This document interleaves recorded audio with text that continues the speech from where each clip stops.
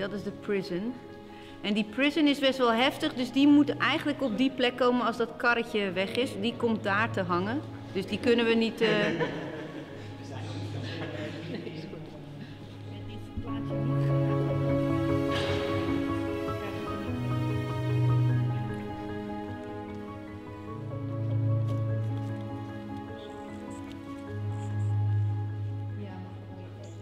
Nee, nee, nee, hij komt daar. Even kijken, ja, en dan heb je natuurlijk, dit is zorg voor de zieke, begraven. We hebben de, de, de lange nog natuurlijk. Nee, die zou daar hadden we bedacht. Dat was ook zo, ja. Wat een gesodemieter. Wordt allemaal weer anders. Als je het uh, vel pakt eerst en dan. Nu, nu, nu val je erover. Als je eerst het vel pakt.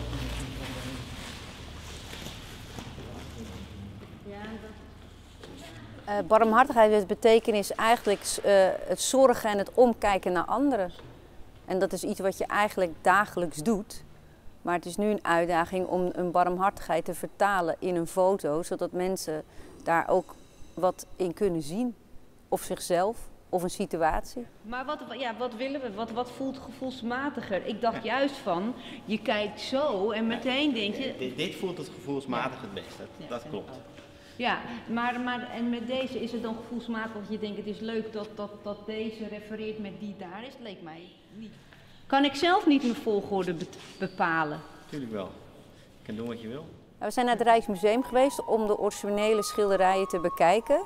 Ik moet zeggen dat ik die best lastig vond, want het is heel slecht te zien welke barmhartigheid, welk, welk deel uh, vertaald wordt. Gelukkig staat er een bordje onder. Dus ik vind ze niet heel duidelijk. Maar uiteindelijk gebruik je dat niet echt, want je wilt natuurlijk je eigen vertaling maken, want anders kan je net zo goed iets nadoen en dat vind ik niet spannend. Er moet natuurlijk wel wat voor mij in zitten, anders heeft het geen zin.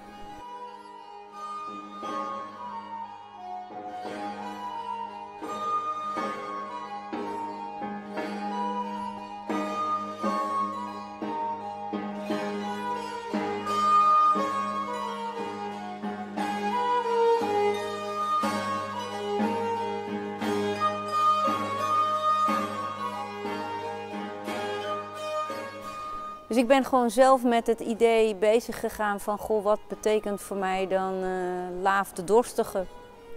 En ik had ooit eens een, eh, een kunst BH gekocht. Iemand die heeft van zijn eigen borsten een uh, afdruk gemaakt en daar drie borsten van gemaakt. En dat is een soort BH, die hangt bij ons in de badkamer. En toen dacht ik van, nou, het lijkt me heel mooi als, als de donkere dame die, die die borst BH draagt. En dat blonde meisje aan haar borst dringt uit de foto komt dat misschien niet er heel erg uit, maar dat was mijn uitgangspunt om laaf te dorstigen. Je drinkt van elkaar, je, je, je zorgt, je voedt elkaar. Uh, Mofan en ik gaan altijd een dag van tevoren op locatie, scout. En toen waren we daar en toen zagen we die mooie binnenplaats van die kerk. En ik had eerst namelijk bedacht dat de meisjes uit een kerk zouden komen om dan een, een dode te tillen. Nou, ik ben wel sterk, maar die meiden die, die natuurlijk onder voet dun zijn, die uh, kunnen een meisje die ook niet heel zwaar is, niet tillen. Dus dat werd het niet, want ze zakte door en dat hielden ze niet vol in die hitte en het licht was niet mooi. Maar toen kwamen we daar naar binnen en um, nou ja, toen begonnen we wel te vragen van... Goh, zou het oké zijn als we misschien foto's kunnen maken? Maar dan heb je natuurlijk toch te vaak te maken met instellingen en regeltjes en gedoe. En toen zeiden ze, nou nee, dan moet je allemaal die mensen vragen. En die toen dacht ik, oh bah, ik wil morgen aan de gang. En al dat gedoe om toestemming te vragen. Ik ben zo klaar met het kwartier. Dus toen vonden we wel die waterput, waren we wel al een beetje verdrietig dat het niet kon. De volgende dag was iedereen voor de foto en toen ging ik wel weer terug naar de kerk aan de buitenkant. Want de buitenkant van de kerk is openbaar, maar binnen is een soort museum. Dus dan moet je echt naar binnen. Daar kan je niet na sluitingstijd in. Nou, bij de kerk natuurlijk ook niet. En toen was het half vijf dat we daar aankwamen en ik voelde dat dat idee wat ik eerst wilde niet lukte. Die meisjes konden die elkaar niet tillen. En toen zei ik tegen me van, ik wil zo graag naar die waterput. Op dat moment komt er iemand naar buiten lopen en in ene begin ik een kletsverhaal uit niets van... Goh, ja, ik ben Helen en ik zou misschien een foto willen maken, maar ik weet dat het uh, uw tijd, dus dan begin je natuurlijk iemand zo te overvallen met veel woorden dat, dat je iemand niet de gelegenheid om echt te denken, waardoor ik al twee stappen sneller ben. En nou, voor elkaar, we hadden dus inderdaad, het, eh, alle mitsen en maren werden afgewogen, maar wij mochten in een kwartiertijd die foto maken. Dus gelukkig keek die Daan niet om de hoek, want als je foto's maakt met zo'n scène zoals dit, dan heb je dus twee van zulke hutkoffers aan kleding. Uh, iedereen staat er half naakt, half aangekleed. Dat zag die dame gelukkig niet, want ze leek me iemand die nogal van de regeltjes was. Dus dan moet je niet zo'n circus zien. Dus zij zag dat gelukkig niet. Dus ik tegen iedereen zeggen, rustig komen, juiste kleding aan, op je muizenvoeten naar binnen. Want ik heb een kwartier toestemming en dan gaan we het eventjes doen. Alles gelukt. Ik die foto gemaakt. Allemaal mooi. Totdat het disaster kwam dat mijn films allemaal mislukt waren. Want de lens zat los aan de binnenkant. Er zat een soort golf in van onscherpte. Ik kon niets gebruiken. Dus toen we de tweede keer die foto's over moesten maken, weer in Gent, weer 40 graden. Toen was ik beter voorbereid, want toen, toen dacht ik, nou, nou ga ik wel officieel toestemming vragen. Want ik wilde die waterput te graag gebruiken. Die waterput was gewoon zo ideaal voor begraafde doden. Nou ja, je raadt het al. Dat mocht. In een uh, de juiste strings, de juiste mensen. En toen kwamen we dus ook op een locatie waar we toen niet geweest waren. En daar hadden we dus zoveel mooie scènes. Daar is deze scène gemaakt met uh, Kleed de Naakte. Nou, die is prachtig qua doorkijkjes. Want als je een panoramafoto maakt, is het ook heel mooi om met dieptes te spelen en de zijkant te gebruiken. Dus je wilt aan beide kanten hele mooie kleuren en achtergronden hebben om het gevoel te geven dat die foto spannend is. Anders heeft het geen zin om een panoramafoto te maken, want dan kan je net zo goed een 6 bij 6 foto maken. En toen was het op een gegeven moment bijna einde van de middag. Uh, ik zie die hele mooie doorkijk en we hadden één prachtige jurk. Ik, en er was nog geen wind, dus ik zeg tegen Mofana, kruip jij eens even onder die jurk. Mofana, is zo raar ik over iemand praat en je staat er niet bij. Dus Mofana die gaat onder die jurk kruipen, die gaat dit doen. Ik zeg, ja, harder, harder, harder, zeg ik dan. en toen kwam er ook een beetje meer wind en dat meisje stond echt prachtig, alsof ze zo uit een film komt. En ik ga die camera maken. En het was dus zon. En toen was het heel tijd bewolkt. Want op die foto is het wat bewolkt. Ja, wel wat zon. En toen ging ineens de zon schijnen. Dan denk ik echt, mijn lijntjes met boven zijn toch weer goed op elkaar afgestemd. Want dat heb je nodig. Anders kan je nooit zo'n mooie binnenkant fotograferen. En toen ging ook de wind blazen en het was 40 graden. Dus mijn van zat te zweet onder de rok, maar ze mocht er niet onderuit. Want ik wist niet zeker als de wind zou liggen. Dus ik zeg, blazen, blazen, blazen. Dus zo hebben we dus die foto's gemaakt. En dat zijn dan van die gouden momenten dat ik echt denk, fantastisch. En ik moet eerlijk toegeven, het is een nachtmerrie om die hele serie opnieuw te maken. Maar als je dan een kans krijgt om, en dan moet je je voorstellen vier modellen, waarvan er één in Moskou woonde, een andere in Duitsland. Die kon helaas niet meer, het eerste meisje. Twee in Nederland, dat was nog te overzien. Vakantieperiode, dus mensen zijn op vakantie. Dus ik had natuurlijk de sessie afgesloten. Niemand dacht dat we meer over moesten. En twee weken later wel. De kleding kwam van Gucci. En dat was al lang al uh, met een editorial, moet je het zo zien. Alle kleding wordt uitgeleend aan mij voor de weekend. Dat wordt dan door stylistes geregeld natuurlijk als ik klaar ben, dan gaat al die kleding weer in koffers. En die gaan weer naar New York, naar Japan. Die kleding komt wel nou, in honderden handen. Dus iedereen mag een klein beetje die kleding steeds lenen. Dus dat, die, die kleding die reist de hele wereld over. Maar omdat ik natuurlijk de hele fotoshoot verknald had, omdat die lens niet goed was, moest al die kleding weer terugkomen. Dus in twee weken tijd hebben ze alles op alles gezet om, om vanuit New York en weet ik veel waar weer diezelfde kleding terug te krijgen. Dat arme lieve meisje, mijn favoriete schat, die daar in die mooie nis staat. Die uh, heeft er 24 uur over gedaan om bij het vliegveld te komen en dan pas weer naar, naar, naar België te vliegen. Dus iedereen was weer opnieuw. Nou, het was echt wel een soort reunie van tranen en vreugde. Moeten we het weer doen? We moeten weer aan de gang. En ik, voelde, ik heb me nog nooit zo ellendig gevoeld. Want ik heb in mijn 20 jaar dat ik foto's maak nog nooit zoiets meegemaakt dat een hele serie door technische mankementen niet is gelukt. Dat heb ik nog nooit gehad. Maar ik moet zeggen, het, het heeft zo weer moeten zijn. Dat is dan altijd een dooddoener, maar het werkt zo wel. Zo kun je eigenlijk alle ellende in je leven al overzien. Het is altijd een beter plan wat in de toekomst ligt. En dat bleek ook. Ik had deze drie foto's nooit zo kunnen maken, want dan had ik een andere locatie gehad. En dit was eigenlijk perfect. Het was niet leuk, een middag heb ik me heel ellendig gevoeld. Maar daarna hebben we alles op alles met Mofana ook weer, weer in die 40 graden. We hebben voeten, nou daar kon je soep van koken, zo vies waren we. Maar het was het helemaal waard. Dus uh,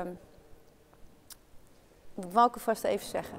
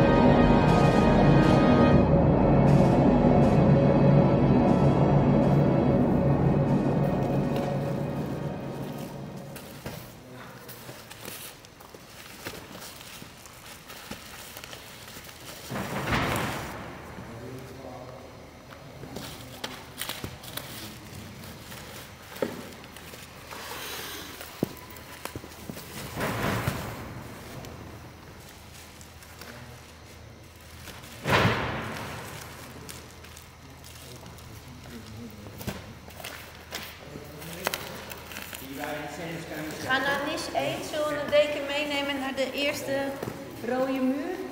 Dan leg ik ze daar... Uh...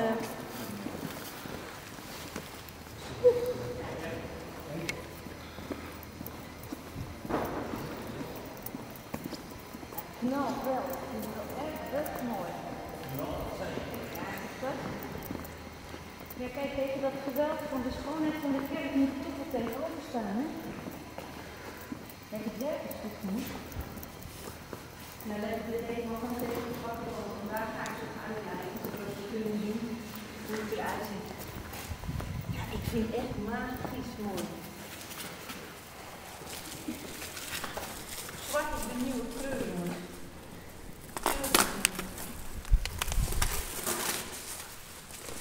is mijn favoriet ook. Ik vind hem zo gevoelig. Ik heb hem in mijn huis hangen en dan mis ik hem echt. Die, ik vind die zo ontroerend. Zo, uh... Het is echt zo'n hond die is gebruikt voor de fok. En uh, niet echt een hele lieve baas gehad. Dus ze moest heel veel nestjes produceren. En toen die niet meer uh, nodig was, toen werd ze een beetje gedumpt. En toen is ze bij een hele lieve, lieve vrouw geweest. Nou, die was ook kapot dat ze uiteindelijk overleed. Maar die heeft alles met haar gedaan om goed voor haar te zijn. Ze is helemaal opgeknapt. Maar om die foto te maken, die hond had een tong, die kwam tot hier. En die hing permanent uit zijn bek. Maar dat wil ik natuurlijk niet. Je wil geen hijghond. Dus het was elke keer bek dicht, tong naar binnen. Het was heel lastig. En toen dacht ik, ze heeft één keer dus die, die, die hele grote lap vlees binnengehouden. Maar ik wist niet of ik hem had, want ik werk analoog en niet digitaal. Dus dan kan je niet controleren, heb je hem nou? Maar we hebben zwaar gewerkt, maar hij zat er toch tussen. Maar het is echt een, uh, ik, ik ben dol op die foto. Dit was gewoon een trio met z'n drieën en die gewoon lekker in zijn uppie. Ik wil wel, ja het zou leuk zijn als ik een plek voor de heb, maar ja, misschien is het gewoon weg. Ja, dat kan hè, heel veel blauw is even vaak. Even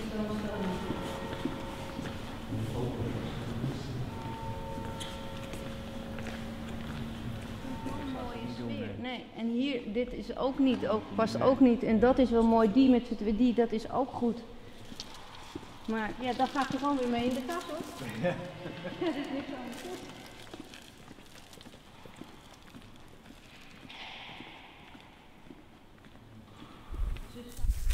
dan gaat deze er wat strakker naast, die rode.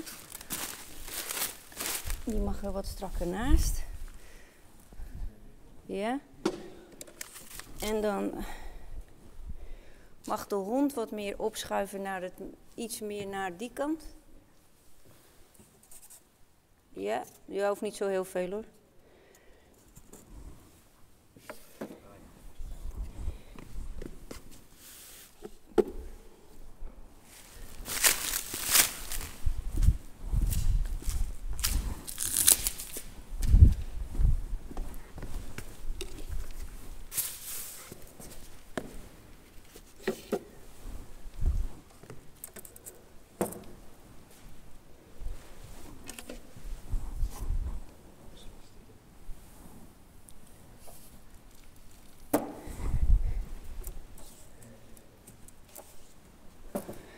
Nou wil ik niet zeggen dat ik altijd denk dat ik het weet. Maar soms mag je best altijd wat zeggen als je denkt, nou, heb je dat ook geprobeerd? Dat mag altijd.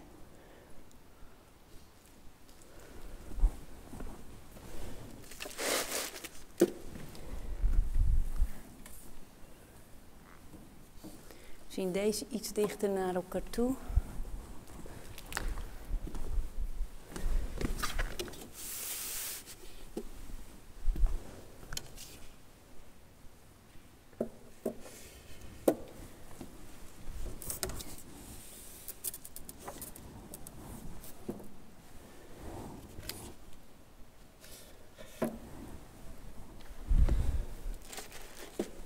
Wat. Ik maak alleen foto's als ik het gevoel heb dat die sparkle, dat, datgene waar mijn hart een sprongetje maakt, dat je het gevoel hebt dat de modellen kijken goed, het licht is goed, de setting is goed. Dat is mijn leidraad. Als ik het gevoel heb dat ik een dode mus van binnen zou blijven, dan is die foto niet goed. Nee, dan moet ze omwisselen. Kijk, dat is ook een soort hoek. Dus dan kunnen de drie hondjes kunnen nu wel weer verplaatsen. Dan gooien we die om. Doe maar. Dan kijk ik hier. Lullig hè, ik zit jou gewoon aan het werk. Nee, dat kan, dat kan je meteen zien.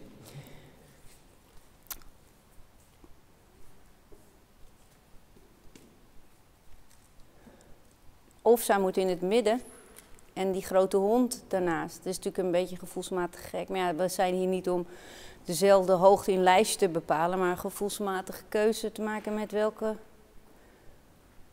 Als hij in het midden is, dat kleintje die iedereen, uh, dat koningskind. En dan kan die hond, die twee honden mogen nog ietsjes opzij voor het gevoel om even meer beter. Uh, ja, een beetje naar dat kleintje, naar het midden. En de rode dame ook als je wil.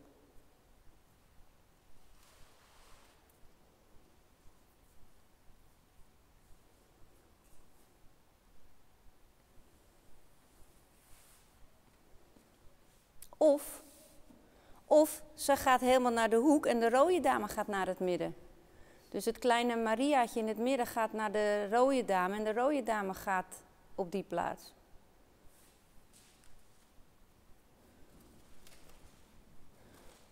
Grappig, hier zijn geen regels voor en toch weet je wat, wat wel of niet klopt. Ja. Voor mij is mooi eigenlijk waarin uh, verwondering, mysterieusheid, niet alles weten, uh, niet standaard, dus niet het, het, het, boekjes mooi zijn. Maar net bijvoorbeeld een meisje die, die ik op reis heb gefotografeerd, een ontluikendheid heeft dat ze nog niet bewust van is. Je zet zo iemand in het licht, letterlijk, en je ziet iemand groeien. Waardoor je ziet dat, dat ze een Velasquez schilderij is. wordt een onderdeel van een Velasquez schilderij. Terwijl ze gewoon een achtjarig meisje was die in eerste instantie niet op de foto wilde. En gewoon ging pruilen als een boze puber. En ineens staat ze als een grand dame met haar haar en haar zondagsjurk. Ik vroeg ook, maak je rug recht, maak je groot. En dan staat daar een dame die, die, die ons gaat overleven. Omdat ik voel dat die foto gaat, gaat, gaat na mijn dood vast nog door. Omdat die zo'n universele schoonheid in zich herbergt. Waarin we nu nog steeds en ook later en ook eerder ons in kunnen herkennen. En dat is iets wat ik mooi vind. Deze niet, hè? Nee, die niet. Maar deze hebben we nog in de aanbieding. Het is natuurlijk een charme-offensief. Ik, ik ben natuurlijk al voorbereid, want ik zoek iets. Wat weet ik niet, maar op het moment dat ik het gevonden heb, weet ik wat ik zoek. Op het moment dat je iets gevonden hebt, dan, dan, dan kan je natuurlijk niet als een dode pielenlaar voor iemand gaan staan. Ja, goh, ik zou wel op de foto's hebben. Wat denk je dat een vreemd iemand doet? Die denkt, die is niet goed. Op het moment dat jij natuurlijk al je charme in de strijd gooit, maar dat is het ook. Als een kind in een, in een snoepwinkel, je zegt tegen je kind, hier heb je 3 euro, je mag uitzoeken in die winkel wat je wil. Je verwondert je, je kijkt, je wil alles aanraken, je wil alles proeven. Dat gebeurt er eigenlijk. En dat hele gevoel, dat wordt dan in, in een tijdsbestek van een paar minuten op iemand losgelaten. Waardoor zo iemand alleen maar het gevoel kan hebben, ik ben echt bijzonder. En dat is dan ook zo, want ik heb dat ook in iemand gezien. Diegene weet dat niet van zichzelf, misschien ook wel, maar ook vaak niet. En dat is een soort chemie, het is een soort paringsdans die je om iemand heen draait. En dan gebeurt dat mooie dat je dus een afspraak maakt en die foto. En dat klopt dan ook. Oh, wacht, ik ga nog even die doen, want uh, uh, nog even die volgen, even de ladder weg en dan gaan we naar de andere. Ja. Maar ik heb, ik heb hier wel goed voor. Dat ziet er lekker uit, dat, dat, dat ziet er toch wat gek uit. En weet je wat ik zo grappig vind? Het zijn uiteindelijk, moet ik zo vertellen, een paar foto's meer. Maar het voelt nog steeds lucht en toch krachtig. Dus zo zie je maar, klein is fijn. Mijn moeder zei altijd, kleine moet je in de gaten houden. Kleine mensen.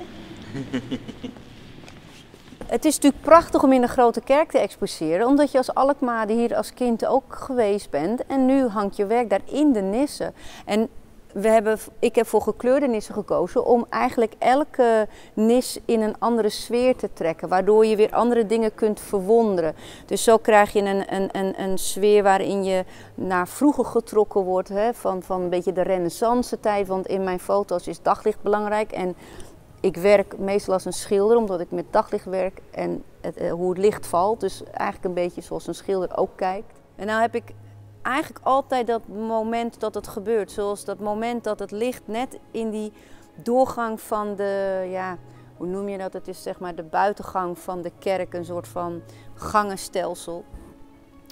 En dan komt net het mooie licht binnen. Dat meisje staat daar heel mooi in die gang. Die, die jurk die gaat net opbollend. Oké, okay, Mofana hielp de wind een beetje.